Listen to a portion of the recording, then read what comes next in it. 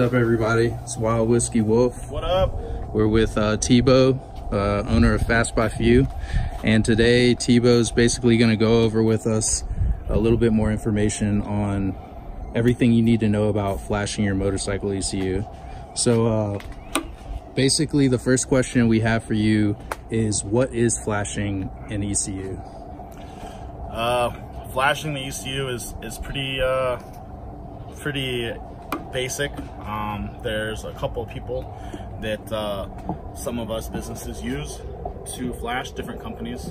But basically what it is, is it's a software that allows us to go into the actual computer and we change the parameters inside it. Pretty simple. Awesome.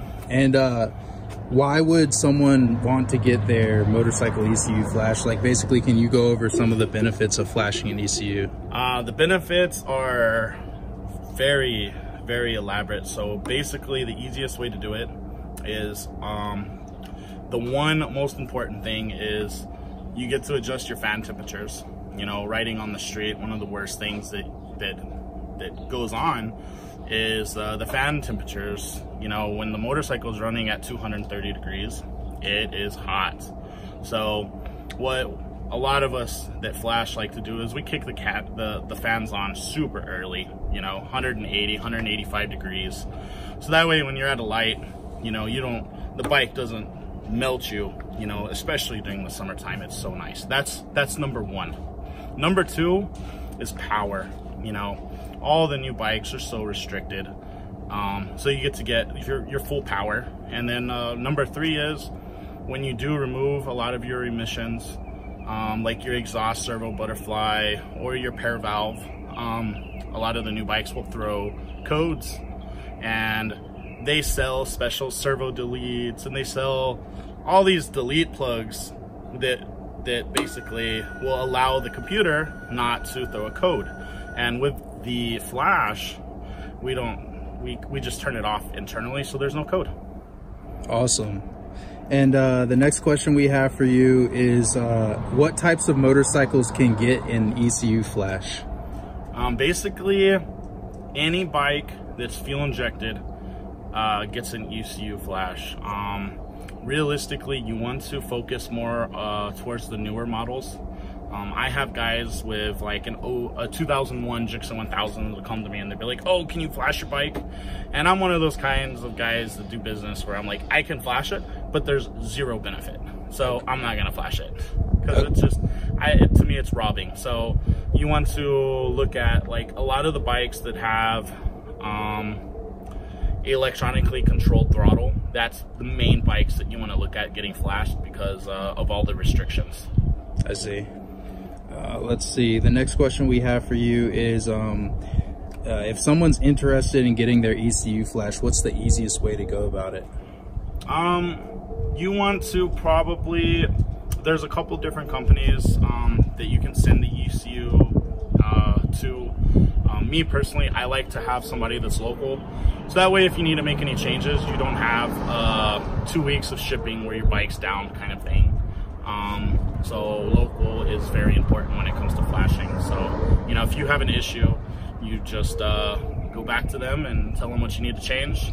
And, uh, you know, like me, myself, if someone needs a change, I don't charge them for any changes on the ECU flash because, uh, you know, it's, it's simple. I see. Uh, and how much uh, do ECU flashes cost, and how much does the Tebow Fast by Few flash cost? So, me personally, I charge $250 for a flash. Um, I've seen ranges. Uh, there's there's some that are 100, and there's some that'll go up to like 300. Um, they're all around the same price. Mine, mine for the 250. Uh, that includes me putting it on the dyno and taking it off the dyno and actually showing results um, which is something that not too many people that actually flash can do. I see. And if someone were to basically send their ECU in to get flashed, they wouldn't get the benefit of having their bike on the dyno as well. Correct. Okay. And uh, the last question we have for you is uh, if someone changes, you know, their exhaust or air filter and stuff like that, do they need to get their bike re-flashed or once it's flashed, is it is it good to go? Once it's flashed, it's good to go. Okay. Um, the only time that you would want to technically re-flash it is if you tuned through your ECU. You know what I mean? So if you're tuned through your flash, then you would obviously you may need to get it tuned, but it's you know it's up to you, obviously. All right, so we hear a lot of guys uh, out on the streets and just in general talking about power commanders. So, what's your take on uh, power commanders and how that uh, differentiates from getting a bike flash? Okay, so a lot of people have the misconception that they're going to buy a power commander and they instantly make power. That's not the case. Uh, power commander is a tool for someone like me or a tuner to be able to adjust your air fuel ratios. Okay. If you get a power commander and you don't plan on getting your bike dyno tuned, then you have wasted your money because a power commander is 100% useless. Okay. Um, one of the best things about a power commander is, um, for me, when I'm dyno tuning, I can dyno a power commander in every part of the table, you know, uh, in 45 minutes. And uh, I can make the air fuel exact. And it's so much easy, easier to tune than doing it like through the ECU. Oh, so would you recommend getting a flash done before uh, a power commander? Okay, so that's a that's actually a good question. Um, some of the bikes, um, Gixxers are really known for this. Hondas are very known for it. Um, they run two different maps. So when the bike's uh, running like below 200 degrees, it's got like a high advanced map. And then once it gets over, once it starts overheating around 220 degrees, or anything over 200, all the bikes are different. They they switch maps and they pull timing and they pull uh, they pull fuel you know, and they, they, it kind of restricts the bike. So for me, personally, I like to flash them before tuning because I always get more power. I get more consistent power. And um, I believe in tuning the bike where you're gonna ride it temperature wise. So not everybody has a bike that's gonna run at 180 degrees.